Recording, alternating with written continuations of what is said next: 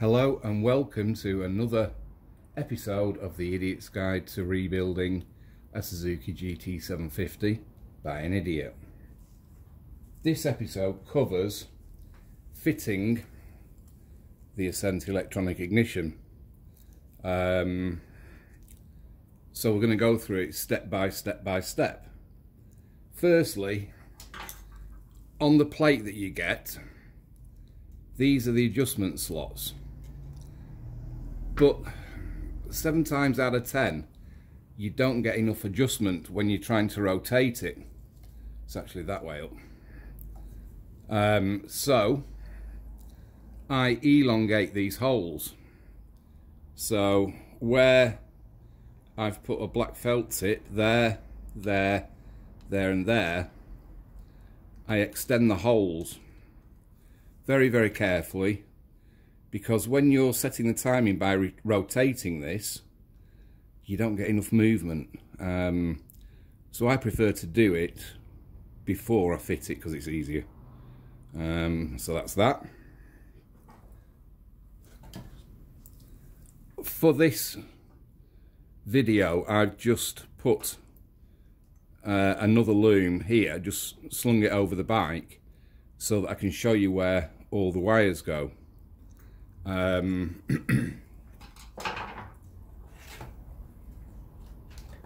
so when you get it, you get it with these wires hanging out and you get a plug. So this is the plug that you want it to mate with. So I just put that there, just half in the um, male plug, obviously you get the female side, you get three wires and people get confused with it and I did at first. But it's very, very simple. On a loom, you've got four wires going into the plug. You've got a black with a yellow trace, a white wire, a black wire and a blue wire. The blue wire doesn't get used. So the easiest way to do it so you get it right. The yellow wire goes on the black with a yellow trace. So just pop that in there. You hear it click and snap into position. The white wire goes above it, snaps into position. And the black goes on the bottom next to the um, yellow wire. So that's those now, all in the correct position. Now, what I would say is when, if you're retrofitting this to a bike with an old loom in there, I would take this panel off and just check because that's all you can see coming out. So you can't see where the wires are. Um, somebody may have moved the wires round in its past. So just undo that, pull it out, have a look and make sure that's where the wires should be. If you're fitting a new loom, certainly with a Bob Harris loom, they're all in the correct places. Um, but it, it just pays to double check. Then you can't have any mistakes or and wonder why it's not running correctly. So that's the plug sorted. So that's those three wires taken care of. Then you have these orange wires. The orange wires go into the light blue and the orange that come out of um, the indicator flasher unit. So here's one that's a grotty one before it's had a bit of cleaning up, just to show you. So the orange wire goes onto this orange wire like that. The other end of it goes to oops,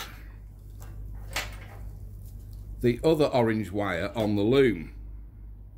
So that's just a loop which puts power to the system. So on the bike, you can see them there. There's a whole bunch of Uh, four wires that all come out together. There's an earth there for this relay. There's the dark blue, which is for your neutral light. Then you've got the light blue and the orange.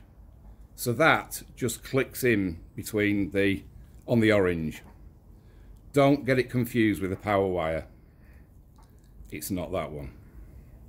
Okay, we've got the uh, camera repositioned. So, in the kit you get, you get a new cam.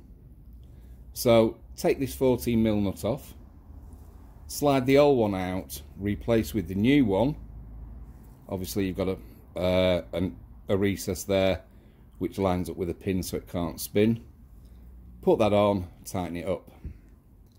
Use the little, the screws you get, the Allen bolts that you get with the kit. Don't forget to put the washers on because if you've extended these holes, which you should do before you put it on, then that washer obviously helps to earth it. Um, so that's that. So ignition's now on on the bike. Rotate this accent unit as far anti-clockwise as you can get it. Then spin the um, crank. Oh, 360 degrees completely round. And you'll see that red light come on. That shows it's working. So I'll just give it a anti-clockwise a full rotation. And then you're looking in this hole which I don't think you can see but you're looking for that's the right if you can see that that's the right cylinder.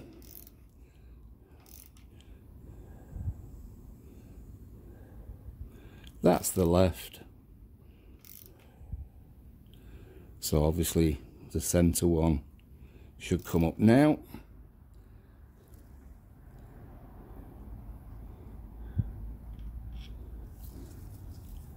a little too far. In fact I'll just take that round again. So spin it anti-clockwise. That's your right. That's your left. And then very very slowly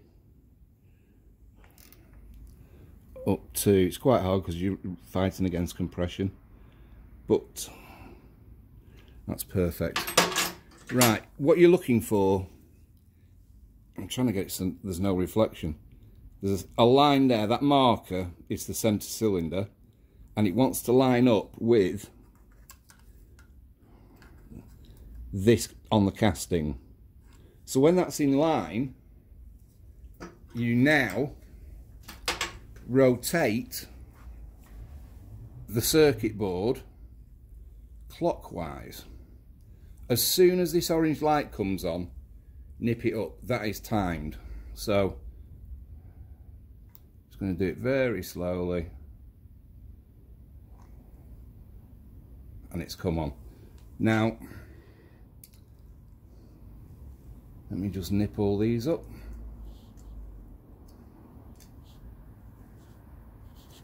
okay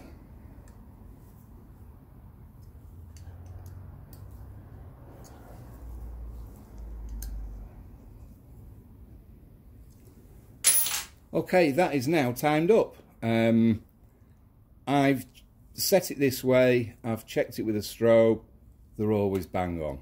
But that is the easiest way to do it. Um,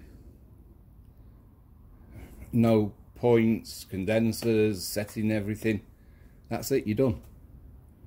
Dead dead simple. Um, they are idiot proof I can do it but again, on here, you can see this slot is right up to the extent of me extending the hole. Um, so it really does pay to elongate these holes so you can get maximum anti-clockwise or clockwise should I say when you time it up um, but that is now set. So enjoy. Please like and subscribe and it'll keep me doing more and more of these videos. Thanks for watching.